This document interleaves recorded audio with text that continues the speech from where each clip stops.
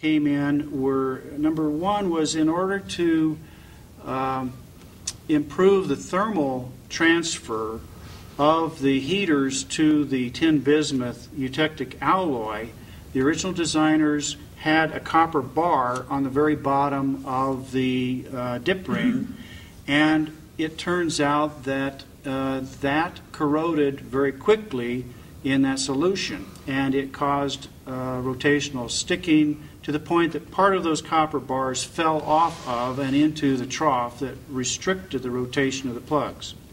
So before the reactor was uh, uh, fueled and before it was operated, the plugs had to be removed and those copper bars were replaced with stainless steel material and the heater configuration was changed to compensate for the lower thermal conductivity. The, there's another related problem with that in that the heaters, because the rotating plugs are eccentric, by not having a common uh, center line, it allowed the rotation of the small plug to position over any one of the reactor um, core or uh, fuel positions. Uh, but that meant that there was a space on part of the plugs where the edge of the small plug was very close to the edge of the large plug. And the heaters in that area were very difficult to get access to. This gets back to the maintenance access issue. When heaters failed in those positions, it took a significant amount of effort, uh, a significant amount of time to try to remove those heaters and replace them. Uh, the other problem that was the um, the behavior of the tin bismuth material was such that no one anticipated in the early design that on the air side of this seal trough, when the tin bismuth was molten, it would oxidize into a very fine powder called dross that would float on the surface of the seal trough. During rotation of the plugs, the dip ring rotating relative to that dross would cause the dross to roll and through some other contaminants would cause it to uh, become almost a brake shoe.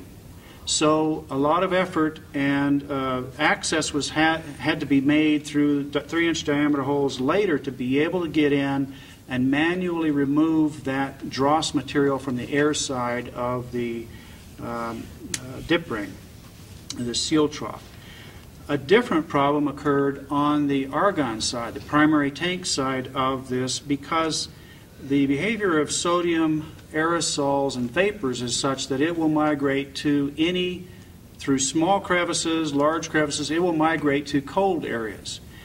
In the primary system, in the primary tank, the uh, seal trough was a cold spot relative to the rest of the primary tank and sodium aerosols and vapors migrated into that area, and there was an unexpected chemical reaction between the molten tin bismuth and elemental sodium that created some intermetallic compounds that had very, very high melting points, far higher than the dip ring heaters could, uh, could solve. And so, similar to what happened on the air side, there was an accumulation of deposits on the argon side of the, the seal trough that eventually built up to the point where it created a mechanical brake shoe for the rotation. And again, access had to be uh, provided to get access to that side in order to clean that. Once the problem was recognized, then there were some solutions proposed, and they, they did allow the, uh, this maintenance operation to allow the plugs to continue to rotate. However, another interesting behavior happened in that cleaning the annulus space between the rotating plugs on the argon side, um, there was a fairly large annular space, which is a good design. But what happened is that the sodium deposits would accumulate in that annular space so, in addition to the top of the seal trough and in the annular spray, space, you had a large surface for this brake shoe effect. So, the cleaning operations required cleaning the top of the uh, seal trough uh, tin bismuth alloy and cleaning into that annulus. Thinking that was a good solution, uh, that annulus was aggressively cleaned until they found that sticking problems started to occur more rapidly after effectively cleaning this. So we finally concluded through a lot of observations, a lot of uh, discussions, and many different uh, efforts to try to find the, the, cause of this new problem. It was determined that there is, uh, again, the behavior of sodium aerosols in the argon cover gas. Uh, it will create convection cells, uh, thermal convection cells, even in that narrow annular space which would bring more sodium aerosols and vapors to the colder areas at the top of that annulus. And so, what we did to solve that problem was eventually allow the deposits to accumulate and began a counterflow purge of argon, clean argon gas back down through the annulus. And that would be a good, good design consideration for any component that may have an annulus like this and rotating components would be a counterflow purge.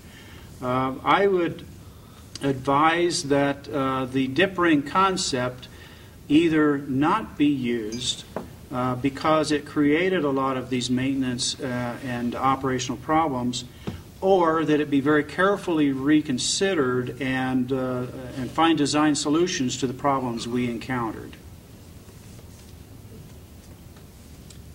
you may recall, we almost shut down EBR2. Yes, because- we did. And, and, That was- and I believe, and I'd like to make one comment, uh, and this is kind of a vague memory on my point. Uh, looking at some of the other reactor designs, uh, some of the later designs actually used this system where they used this uh, dip ring and trough concept, but there was another seal in addition between that and the reactor where you'd lift actually lift the plugs off this seal to rotate and then place them back down so you didn't have that annulus communicating constantly with the sodium aerosol. And I would add another comment that, uh, as Ken mentioned, uh, purging uh, these annular areas with fresh argon was very important. In fact, we started that with the primary pumps, as I recall, and that helped uh, immensely uh, limit the amount of sodium oxide that was accumulating at the interface with the sodium and would eventually cause binding of the primary pump shaft and other things. So managing sodium aerosol movement in these sodium systems is a very complicated but very important design consideration.